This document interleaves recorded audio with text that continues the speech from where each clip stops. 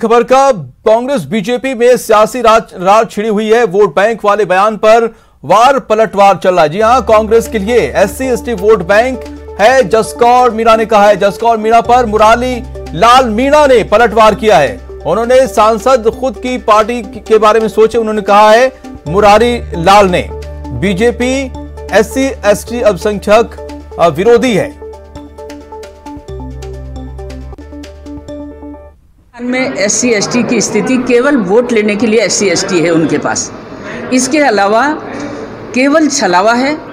और मैं तो सोचती हूँ कि इस तरह की स्थिति यदि प्रदेश में, हालाँकि मैं तो ये मानती हूँ कि नेता चुनने के बाद समाज और राष्ट्र के उत्थान में, समाज के विकास में और अंत्योदय की भावना लेकर काम करने वाले लोगों का हम वेलकम करते हैं। यदि वो वहाँ दुखी हैं तो आ जाएँ हमारे साथ। मेरा जो उनको बोलने वाले से निवेदन है, आप खुद की पार्टी के निमेट लें।